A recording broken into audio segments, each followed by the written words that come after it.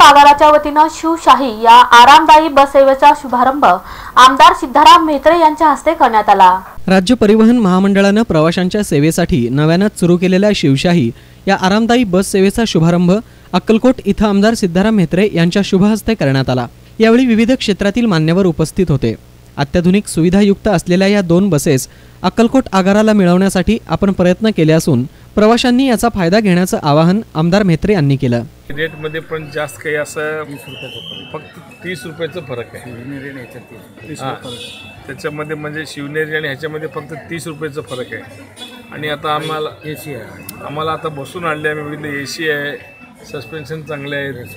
म्हणजे power steering आहे. म्हणजे आपण कसं इमानात बसल्यावर सगळं करतो सीट वगैरे वरचे ए सीचं हे ते सगळं अनाउन्समेंट आहे सगळं ते. आणि स्टॉप करण्याचं बटन आहे तिथं.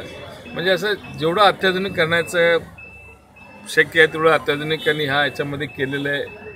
असं म्हणत अतिशय ठरणार नाही. ते चांगलं केलेलं आहे ते. तर यावेळी बोलताना इरण्णा व्हेनेलेलू यांनी शिवशाही बस ही खासगी बसेसच्या तुलनेत अत्यंत आरामदायी आणि प्रवाशांना परवडणारी असल्याचं सांगितलं.